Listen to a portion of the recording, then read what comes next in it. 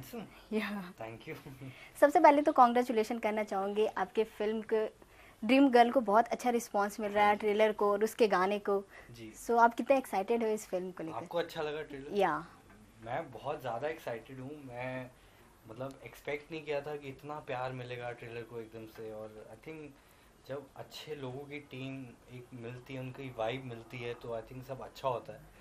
और यही dream girl के साथ हो रहा है। बहुत अच्छे लोग जुड़े हैं। हम्म, सब प्यारे लोग जुड़े हैं और बहुत अच्छा कॉन्सेप्ट के साथ आए हैं और नया कॉन्सेप्ट है। हाँ। आज तक किसी ने ऐसा देखा नहीं। और आई होप ऑडियंस को बहुत मज़ा आए तेरह सितंबर को फ़िल्म आ रही है। ओके आपके कैरेक्टर के बारे में जानना चाहूँगी? मेरा कैरेक्टर बड़ा ही प्यारा सा है। आ, उसका नाम है स्माइली हमेशा खुश रहता है। हम्म। और आ, ये आयुष्मान खुराना के साथ बचपन से हम दोस्त रहे हैं। हम्म। बचपन से साथ बड़े हुए हैं साथ खेले कूदे हैं।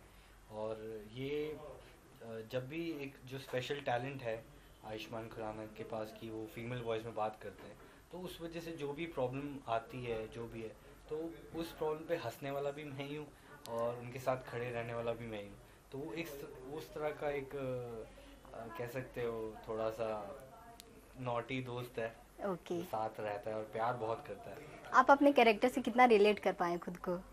रियल लाइफ हाँ। मैं ऐसा कभी सोचता नहीं हूँ। कभी भी जब मैं कोई फ़िल्म करने जाता हूँ कि मैं यार अपना कैरेक्टर मैं भूल जाता हूँ।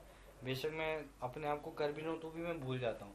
मैं बस ये सोचता हूँ कि कैरेक्टर ये है इसको ऐसे बिहेव करना है इसको ये पहनना है उसको इस तरह चलना है बात करनी है तो मैं उस पर फोकस करता हूँ। इसलिए हमारी वर्कशॉप्स होती हैं हर पंद्रह बीस दिन की फ़िल्म स्टार्ट होने से पहले तो ये चीज़ बहुत फ़ायदा करती है और इसमें आप देखोगे जो अगर आप ड्रीम गर्ल में देखोगे हम्म।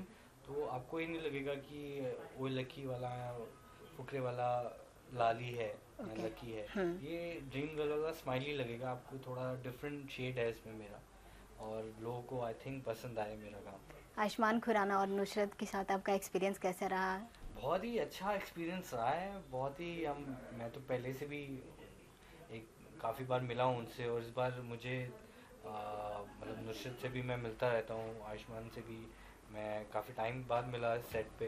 तो मुझे था कि उनका बधाई हो और हम्म, हम्म, हिट हो गई है तो हाँ। मुझे नहीं पता था कैसे रिएक्ट करेंगे।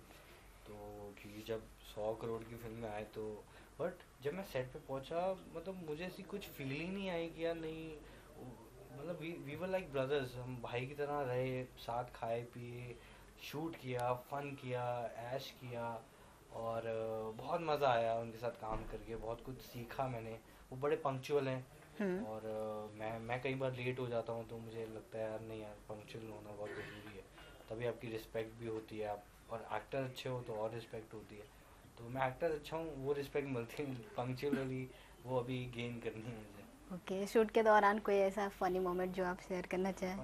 यार पूरी फ़िल्म ही फनी है यार। हाँ। ऐसे मतलब मैं ऐसे बताने चाहूँ तो मतलब ख़त्म ही नहीं होगा। तो पूरी फ़िल्म बहुत मज़ेदार बनी है।